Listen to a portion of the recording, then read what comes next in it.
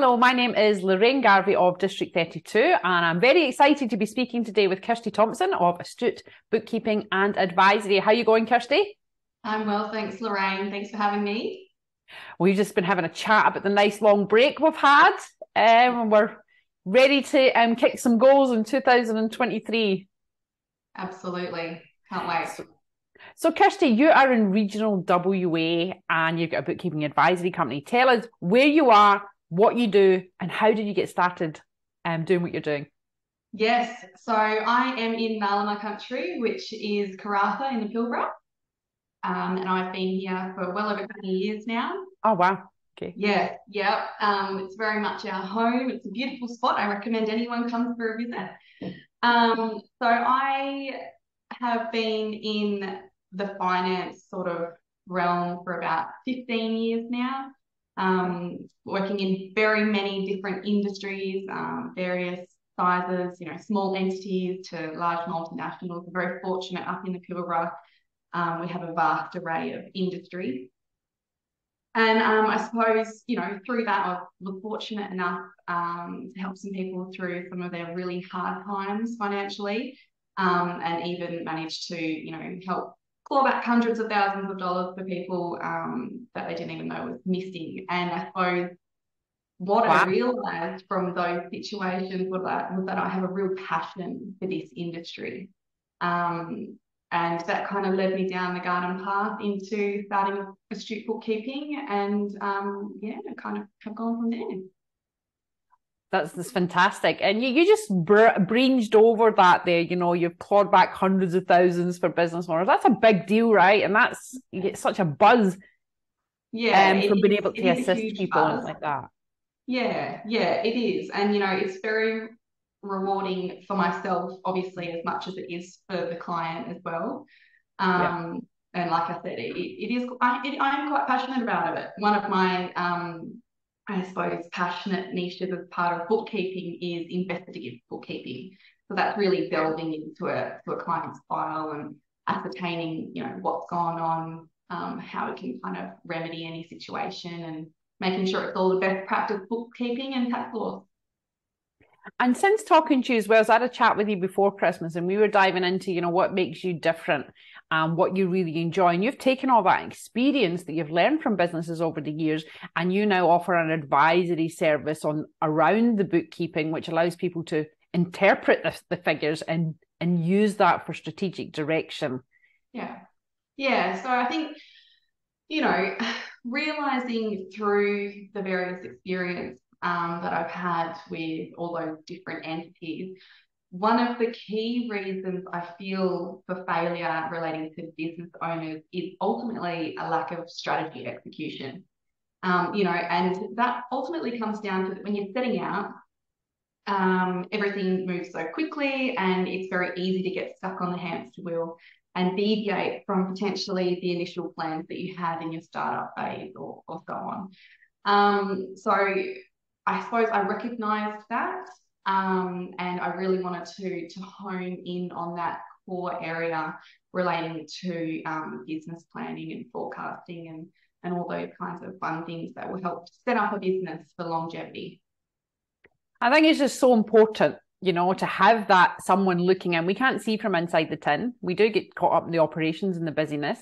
And it's so um, refreshing to have somebody else look at your books. And I, find it refreshing anyway, to have somebody else to look at your books and to ask you questions about what does this mean and what is it telling you? And How are you going to use this to grow in the future? So I think that's on the back of what you said, it's the most important thing um, for business owners. But look, um, Kirsty, you've got three tips um, for people today in business. And that'll be around you know your you know your competitive advantage and your differentiation there. What what are your tips for um what are your tips for business owners this year in 2023 so my my first thing would be business planning. So that kind of obviously is back to back with essentially what i was just discussing earlier. Um, and essentially that comprises um, a SWOT analysis so strengths, weaknesses, opportunities, threats. um, also looking at your market, uh, a really good business plan. It's really important to have this to identify strategic direction and goals. Um, and ultimately, um, you really need to have implementation and consistent accountability. Um, and, and this is for not only yourself potentially as a business owner, but but everyone that that filters down through to within your business as well. Um, so I think that's really key. Business planning, business. They must plan. have a business plan. Fantastic. Yeah, yeah definitely. Um, so cash flow forecasting is something that I also think is um, imperative in business.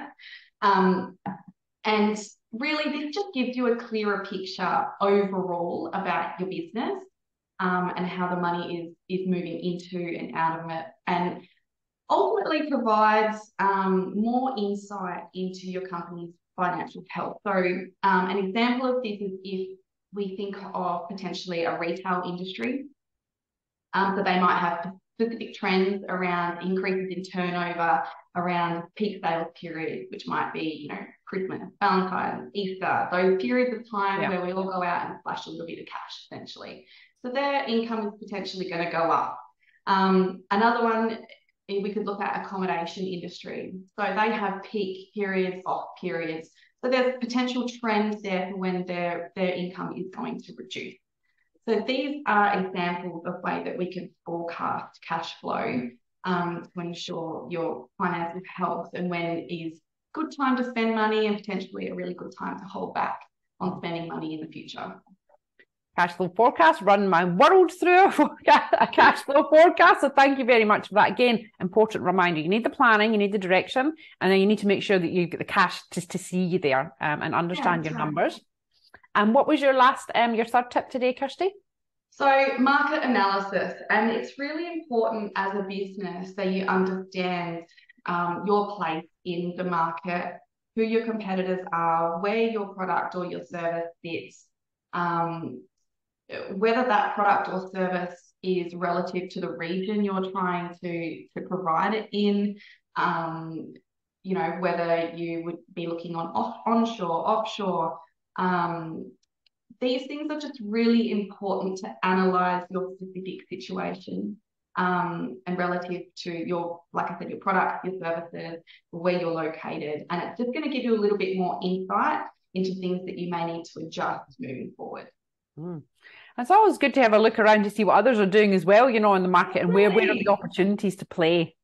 Yes, absolutely. Absolutely. I think it's important to know um, who else is out there, what else other people are doing. It's only going to help you in, in the long run, Actually, Don't yeah. be afraid to look out there and see what everyone else is doing. So thanks for that, Kirsty. And just before we go, I want to ask you, who do you, you know, I know you're up in the, the regional WA, but you've got clients all over um, Who do you like to work with? Who, who's, you know, who's your ideal uh, client or customer? Uh, well, we work, we're very, like I said earlier, we're very fortunate up, um, up here. We have a varying degree of industries. So we have have worked with and do work with people in uh, very varying sectors. Um, but I do have a real passion for real estate industry as well. Um, just something that I am quite interested in at the moment. Yeah, okay. Um, yeah. And you've got a few clients in the real estate um, industry, and does that include strata, property management, or all of the above? Yeah, all of the above. Yeah. Beautiful.